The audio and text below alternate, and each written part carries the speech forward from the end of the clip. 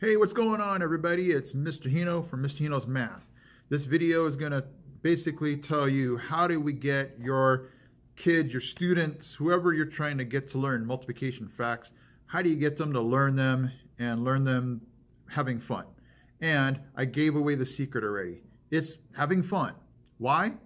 Because if you're just learning multiplication facts from a piece of paper, that's boring, unexciting what we want to do is we want to get students excited to learn multiplication facts.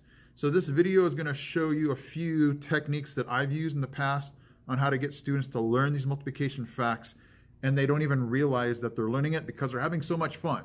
So what we're going to do is we're going to show you how to do that right now. Ready? Let's go.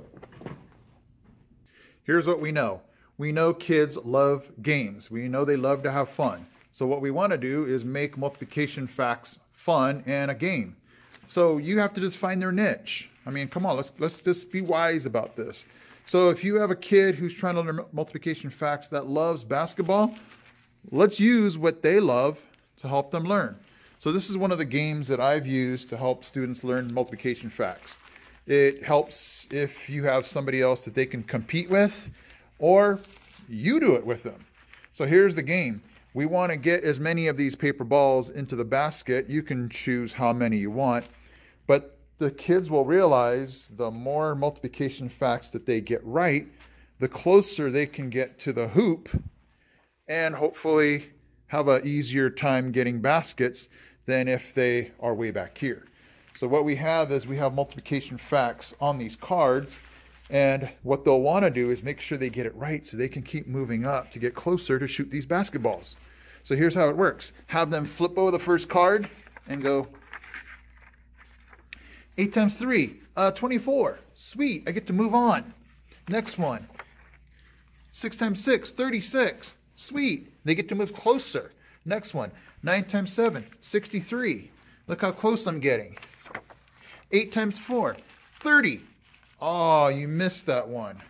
So if they missed it, then they'd have to shoot it from here oh, and they'll realize, oh, if I could have just gotten that correct and then gotten that correct, look how close I could have shot my basketball from here.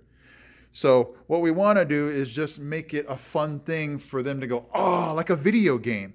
I can go back, try it again, and do better. Let's look at another one. Another thing I know about kids is they just love to race and see how fast they can do things. So what you might do is take those same flashcards with the multiplication facts and just lay them out. Um, have something fun to go with it. Maybe they flip over a card and every second card they have to build something and then move on. And it would be great if they could do this with another student just to have fun. So what we want to do is incorporate their learning multiplication facts with something enjoyable for them. So they don't see this as a chore. They don't see this as, oh, I got to learn this boring multiplication facts. But they get excited. Hey, mom, dad, teacher, can we do this so that I can learn these facts? And then, you know, they, they almost don't even realize they're learning multiplication facts as they do this. So I might lay it out like this, um, break it up with something fun. So that way, when they flip over something and get it right, then they get to move to something fun, keep flipping, and so they can get to something else that's fun. So do you see how this is also like another video game where they just progress and move on as they go? Let's go to the next one.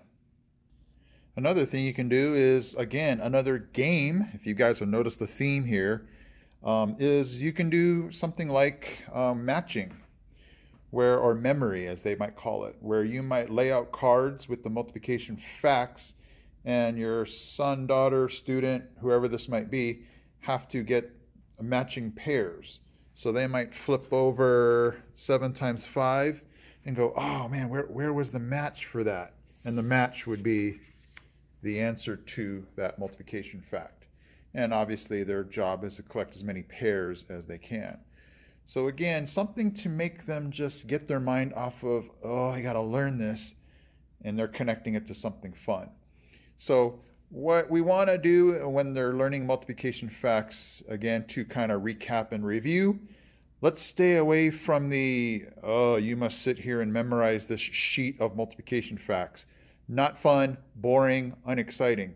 We want to connect a game. We want to connect something fun. We want to connect maybe something competitive so that they it gets their mind off of I'm learning this more to the fact that I'm having fun learning this.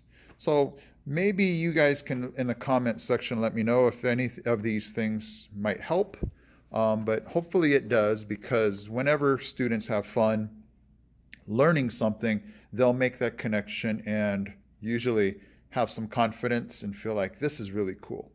All right, guys, hopefully this was helpful. I am Mr. Hino from Mr. Hino's Math. Thanks for watching.